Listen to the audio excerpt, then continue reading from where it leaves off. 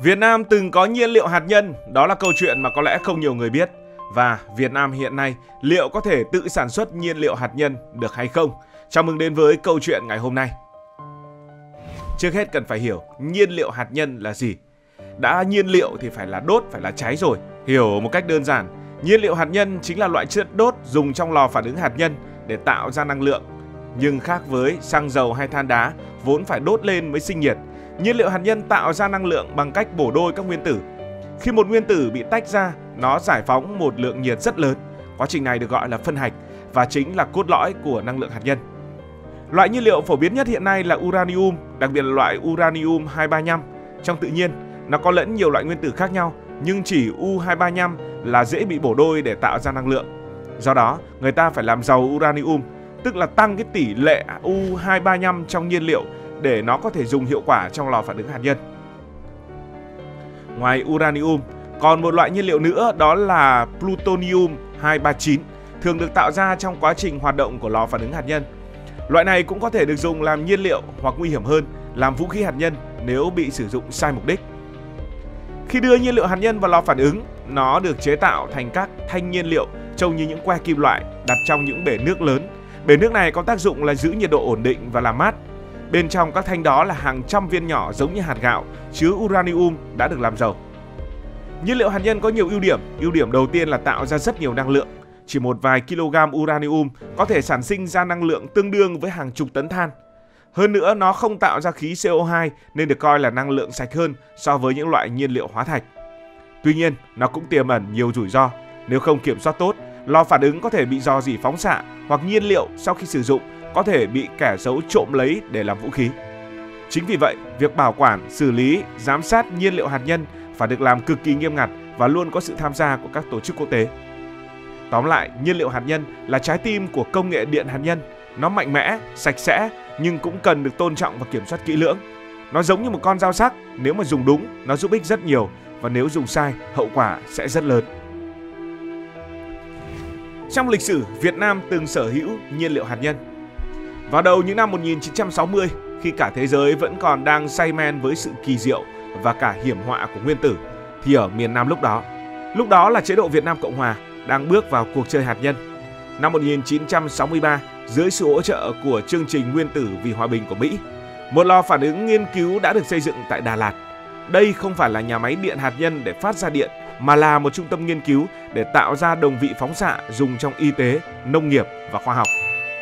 Nhiên liệu dùng cho lò này là uranium làm dầu cao, nghĩa là loại uranium có tỷ lệ U235 rất cao, vốn là thứ có thể được dùng để chế tạo vũ khí nếu lọt vào tay kẻ xấu. Loại nhiên liệu này được Mỹ trực tiếp cung cấp. Lúc đó, Đà Lạt là một nơi ẩn giấu cả một trái tim hạt nhân của miền Nam.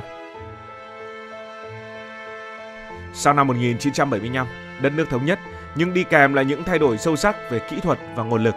Lò phản ứng Đà Lạt phải ngưng hoạt động do hết nhiên liệu, không ai tiếp tục cung cấp nhiên liệu nữa, mà Việt Nam lúc đó không có công nghệ làm dầu uranium hay sản xuất nhiên liệu. Cả một công trình bỗng nằm phủ bụi giữa cao nguyên. Nhưng rồi đến đầu thập niên 1980, một cơ hội mới đã mở ra.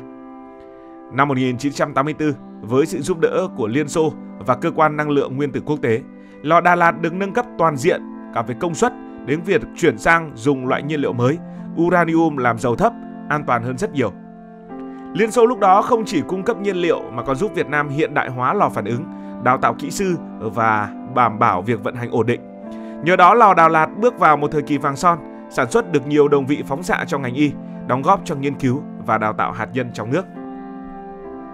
Bước sang thế kỷ 21, các nước bắt đầu siết chặt kiểm soát nhiên liệu hạt nhân.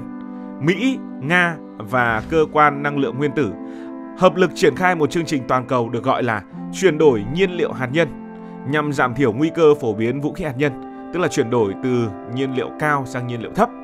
Và Việt Nam cũng tham gia chương trình này từ sớm. Vậy thì IAEA ở đây là gì mà có năng lực và lại có quyền lực đến như vậy? IAEA là tên viết tắt của Cơ quan Năng lượng Nguyên tử Quốc tế. Đây là một tổ chức trực thuộc Liên Hiệp Quốc có trụ sở nằm tại Viên của nước Áo và được thành lập từ năm 1957. Nói một cách dễ hiểu, IAEA giống như một trọng tài quốc tế trong lĩnh vực hạt nhân. Họ giúp các nước phát triển và sử dụng năng lượng hạt nhân đúng nhưng cũng giám sát để đảm bảo rằng không ai âm thầm chế tạo bom nguyên tử. Và thế là từ năm 2007 đến năm 2013, từng bó nhiên liệu được làm giàu còn tồn kho của lò Đà Lạt được đóng gói đặc biệt, được vận chuyển bằng đường hàng không trong những chiến dịch rất yên lặng nhưng được giám sát cực kỳ nghiêm ngặt. Nơi đến là Nga, nơi này sẽ tiếp nhận và xử lý chúng an toàn. Cụ thể, năm 2013, một đoàn xe chở 106 bó nhiên liệu uranium làm dầu cao đã qua sử dụng, khoảng 11 kg, đã rời khỏi Viện Nghiên cứu Hạt nhân Đà Lạt. Các bó nhiên liệu này được đặt trong những thùng chuyên dụng Skoda và được hộ tống bởi lực lượng công an và quân đội đến sân bay quân sự Biên Hòa. Cũng trong tháng 7 của năm 2013, máy bay vận tải của hãng hàng không Nga đã cất cánh từ sân bay Biên Hòa, đưa số nhiên liệu hạt nhân làm dầu cuối cùng của Việt Nam về Nga. Chiếc máy bay này được trang bị bảo vệ đặc biệt, đảm bảo an toàn tuyệt đối trong suốt hành trình. Chiến dịch này là sự hợp tác giữa Việt Nam, Cơ quan Năng lượng Nguyên tử Quốc tế, Cơ quan An ninh Hạt nhân Quốc gia Mỹ và Tập đoàn Năng lượng Nguyên tử Nhà nước Nga. Việt Nam trở thành một trong những quốc gia hoàn toàn loại bỏ nhiên liệu hạt nhân làm dầu cao, thể hiện cam kết mạnh mẽ trong việc ngăn chặn phổ biến vũ khí hạt nhân. Như vậy là chỉ riêng trong năm 2013, Việt Nam đã hoàn thành việc chuyển toàn bộ nhiên liệu hạt nhân làm dầu cao còn lại ra khỏi lãnh thổ, trở thành một trong những quốc gia tiêu biểu tuân thủ cam kết an ninh hạt nhân toàn cầu. Giờ đây, lò Đà Lạt vẫn vận hành hoàn toàn bằng nhiên liệu hạt nhân làm dầu thấp. Đây là loại ít rủi ro hơn nhiều. Lò Đà Lạt vẫn hoạt động chứ không phải là không hoạt động. Tuy quy mô nhỏ hơn, nhưng nó là nơi duy nhất ở Việt Nam sản xuất đồng vị phóng xạ phục vụ chẩn đoán ung thư, điều trị bệnh, nghiên cứu vật liệu và đào tạo nhân lực hạt nhân. Chính từ những nền tảng đó mà Việt Nam đã từng ấp ủ xây dựng nhà máy điện hạt nhân Ninh Thuận với kế hoạch mua công nghệ và cả nhiên liệu từ Nga và Nhật. Tuy nhiên sau sự cố Fukushima vào năm 2011 và áp lực quốc tế, Quốc hội đã tạm dừng dự án này vào năm 2016. Tới cuối năm 2024, giấc mơ hạt nhân lại nhen nhóm. Việt Nam chính thức tái khởi động dự án điện hạt nhân trong bối cảnh nhu cầu điện tăng nhanh và mục tiêu trung hòa carbon vào năm 2050 đòi hỏi các giải pháp không phát thải. Và một câu hỏi được đặt ra, nhiên liệu bây giờ sẽ đến từ đâu? Phải thừa nhận hiện nay Việt Nam vẫn chưa chế tạo được nhiên liệu hạt nhân và điều này cũng hoàn toàn dễ hiểu nếu mà chúng ta nhìn vào mức độ phức tạp và yêu cầu nghiêm ngặt của công nghệ này. Chế tạo nhiên liệu hạt nhân không giống như làm gạch hay là đúc sắt, đúc thép mà là cả một quá trình khoa học cực kỳ tinh vi, đòi hỏi trình độ kỹ thuật cao, cơ sở vật chất đặc biệt và sự giám sát quốc tế rất chặt chẽ. Việc làm giàu uranium là một kỹ thuật phức tạp, cần các thiết bị hiện đại như máy ly tâm siêu tốc. Đây lại là công nghệ rất nhạy cảm vì có thể bị lạm dụng chế tạo vũ khí hạt nhân nên rất khó. Do đó, thế giới kiểm soát nó cực kỳ nghiêm ngặt. Và ngay cả khi đã có uranium làm dầu, Việt Nam cũng chưa có cơ sở để chế tạo thành các thành nhiên liệu là những que dài chứa các viên uranium nhỏ được nhồi vào trong ống kim loại đặc biệt. Việc sản xuất các thanh này phải đảm bảo độ chính xác cực kỳ cao, chịu được nhiệt độ và phóng xạ trong lò phản ứng, đồng thời không gây rò rỉ. Đến giờ, Việt Nam chưa có dây chuyền sản xuất nào đạt tiêu chuẩn cho việc này. Ngoài ra, để xây dựng một chu trình sản xuất nhiên liệu hạt nhân, Việt Nam sẽ cần đầu tư hàng tỷ đô, có đội ngũ kỹ sư được đào tạo chuyên sâu và phải tuân thủ những yêu cầu nghiêm ngặt của cơ quan năng lượng nguyên tử quốc tế IAEA. Với thực lực hiện tại, chúng ta vẫn đang ưu tiên nhập khẩu nhiên liệu từ những nước có kinh nghiệm như là Nga chẳng hạn, nhanh, an toàn, ít gây tranh cãi về mặt chính trị. Cảm ơn các bạn vì đã quan tâm theo dõi câu chuyện này. Nếu cảm thấy thú vị, bạn có thể nhấn nút đăng ký kênh, bật chuông thông báo và chia sẻ. Còn bây giờ thì xin được nói lời chào tạm biệt.